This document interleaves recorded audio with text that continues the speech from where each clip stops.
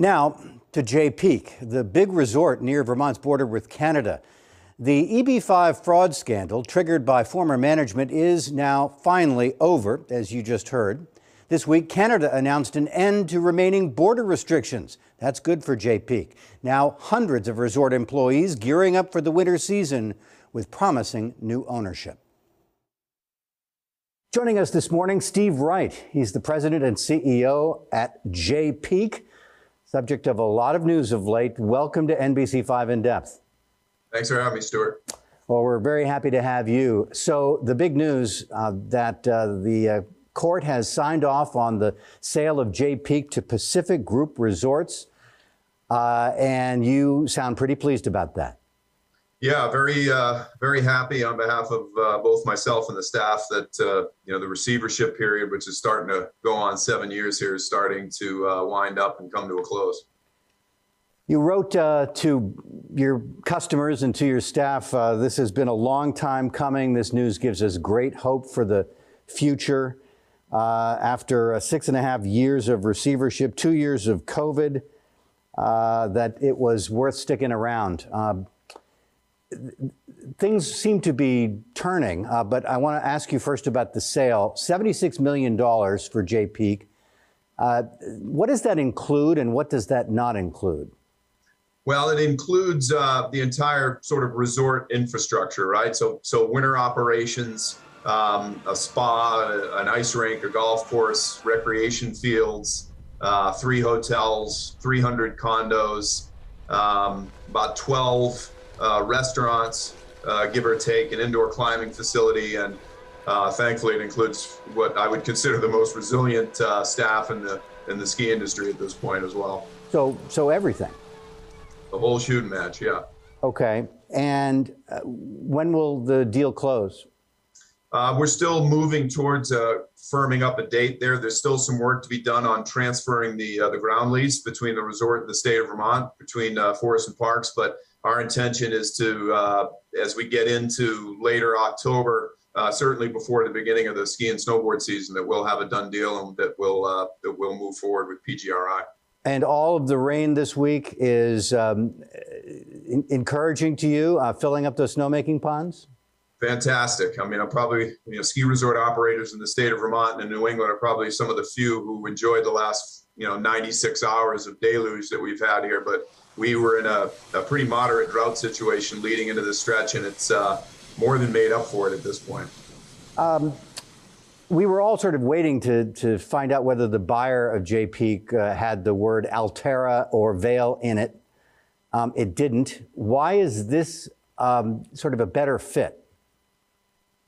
Well, yeah, I mean, it's a, it's a good question. I mean, it, there was there was lots of interest from the endemics, you know, the, the folks in the industry. Um, and you know PGRI fills sort of a unique tranche in the in the business in that they're sort of a middle market. Uh, they run middle market resorts where the resorts are responsible for managing the areas themselves, uh, creating relationships with the customers themselves. Um, they, they provide sort of macro support for the brands in terms of capex and uh, helping them get the funding for pieces of the infrastructure improvements that they need uh, but the brands themselves run the resort. And it was important for us uh, to be able to continue to do those sorts of things because we're proud of, of the brand that we build. And, and on top of that, the relationship with our staff and our customers that has, has grown alongside that. How many employees do you have? in the uh, winter and when you're fully yeah, staffed? Pre-pandemic, the number had arched close to you know 1,100, 1,200 employees. Uh, now we're in that in a post-pandemic environment where we've calibrated the operations a little bit differently. I think that number is going to top out at around eight or nine hundred. You were profitable last winter. Uh, yeah, we were had our uh, the best winter in our history. Um, so uh, you're you're gearing up for the fall for the winter, and uh, Pacific Group Resorts will honor the Indy Pass that um, is sort of a hybrid product uh, involving independent ski resorts uh, around the country. Yeah, it's, it's a product that we jumped on two years ago when the Canadian border initially closed. It's a product that allows for, uh, for one price, it allows for up to two days of skiing and snowboarding at a, at a multitude of resorts. We were the number one redeemed uh, resort on that pass every year that we've been on it. And that's a nationwide product. And we'll be on it again this year. And then you know, as to further years, we'll make that decision with our with our partners at PGRI and see what makes the most sense for both us and the uh, and the company.